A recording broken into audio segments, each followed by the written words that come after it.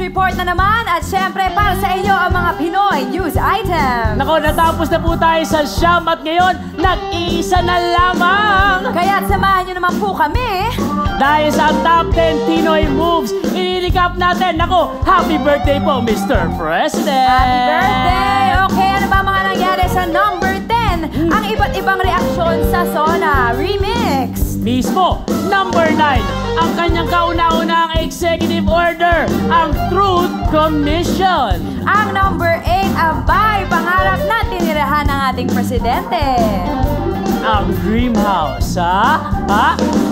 Siyempre, number 7, bawalang wang wang wang wang sa mga kotse ng opisyal natin sa pamahalaan. Mga kotse tulad ng Porsche Nako! na nasa number 6. Nako, pogi points na naman yan. Speaking about Pogi Points number 5, ang love life ni Mr. President. Yun naman. At sa number 4, ang Quirino Grandstand Incident. Ano nga ba ang naging stand ni Ano nga Pinoy? ba? Number 3, sino ang boss ng Pangulo? Tayo, tayo, tayo! Tayo lahat. At sa number 2, mga family rivalries sa mga Marcoses, Arroyos at kung kan-kanino pa.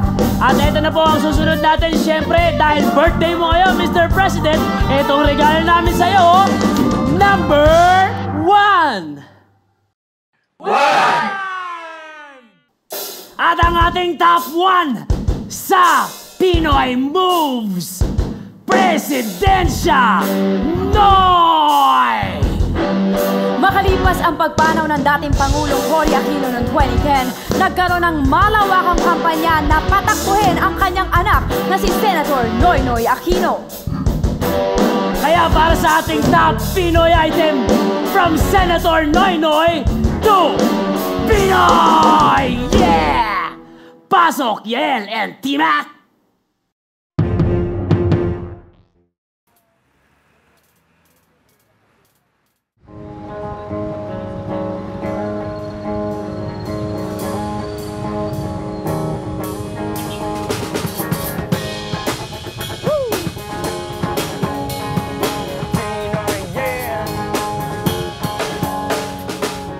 40 days makalipas ang pagpanaw ng ina. Pagtakbo bilang presidente, idiniklara niya.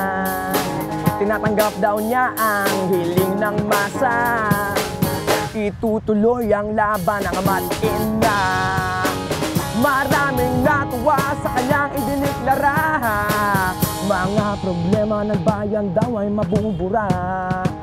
Kurasyon ay napiling ang kaaway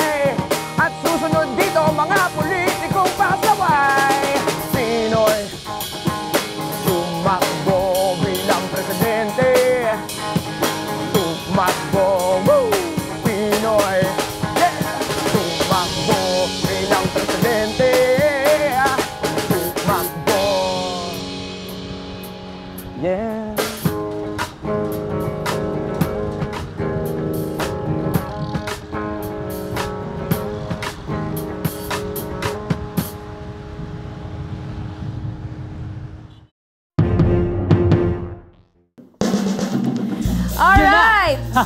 Maraming salamat po mga kaibigan at ayan po ang ating top remix report tungkol sa Presidential Pinoy Move. Yes, again, happy birthday po sa iyo. At next week, marami pa kaming ihahatid ng mga nag-iinit na balita. Pero bago po yan, Oo. syempre, we would like to thank our guests, Yael and T-Mac of Sponge Cola and the Bloom Brothers. Thank you. At maraming salamat din sa ating mga reporters na si Lico Pipito at OG Segment. Also, to check us out in Facebook, facebook.com slash remix, eh, top 10 remix report. At Ha? twitter.com, remix underscore report.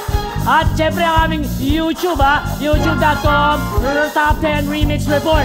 Opo, so magkita-kita na next week. My name is Abby Asistio. At ako po si Joaquin Tumas, kasama po natin ang